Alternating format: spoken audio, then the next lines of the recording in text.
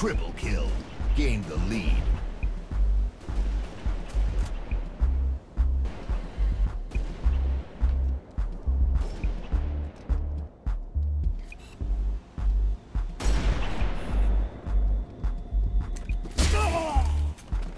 Double kill. The leader. Triple kill. Gained the lead. Graduation, whether it was get a job or go to school. But after watching Into the Wild, a third option appeared to him, which was to head off into the wild, just like Chris Experience could have prepared him for. So Matt graduated from high school keeping with his plan dense forest in Northern California, located about 150 miles from the end of his hike to the border of Oregon.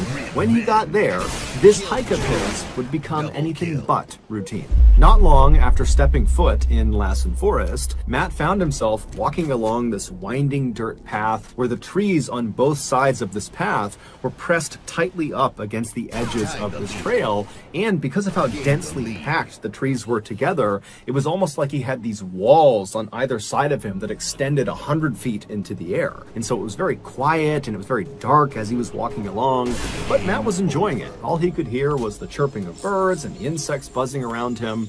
It was peaceful. And so Matt's just kind of meandering his way